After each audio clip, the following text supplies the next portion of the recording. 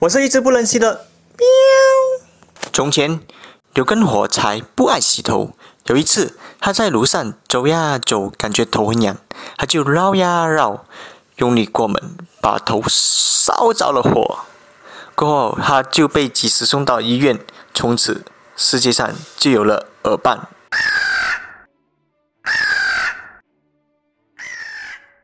大便跟小便是好兄弟。有一天，大便过马路被车撞死了，小编就说：“我好想大便呀！”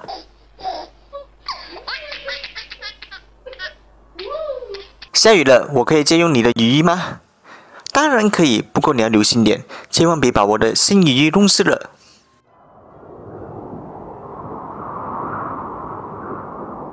一群小男孩夜里在宿舍谈谈生理知识，一个男生突然问：“你们说这个世界上有没有男生是两个蛋蛋的？”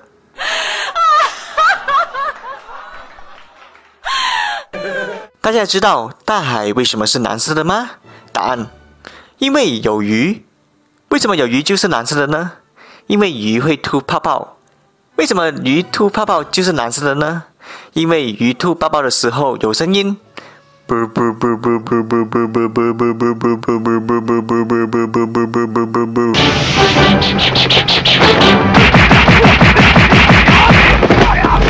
个人打麻将，突然着火了，他们都没有注意到消防员赶到了门头，就冲向里面大喊道：“里面有多少人？”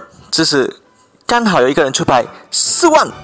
消防员一问：“死了多少人？”这时又有一个人出牌，两万。消防员大惊，慌忙问道：“剩下的人呢？”只听哗啦一声，接着传了一声尖叫：“糊了！”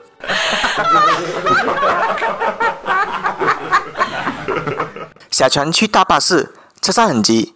就在这个时候，巴士车上的收音机播出：“欢迎观众打进来点歌。”小强就打进去就说：“主持人你好，我在巴士上挤着，我想给前面靠窗的那位姑娘点一首歌，就是张学友的那首，你知道的。对对对，一路上有你，几天也愿意。一路上有你，苦一点也愿意。妈，用下你的洗发水。自己拿。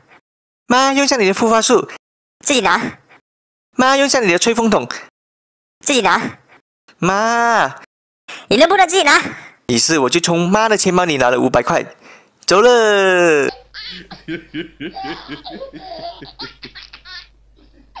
毕业找工作，有一个不错的工作就是做姜超处理。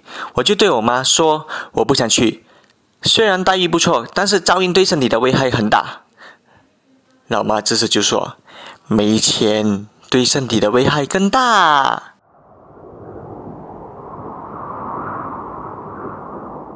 有一次，小木约了心仪已久的女孩，准备对她表白。两个呆呆的坐在椅子上很久了后，他才鼓起勇气对女孩说：“你有没有男朋友？”女孩羞羞的答道：“还没有。”他欢喜，然后就问：“你可不可以当我的男朋友？”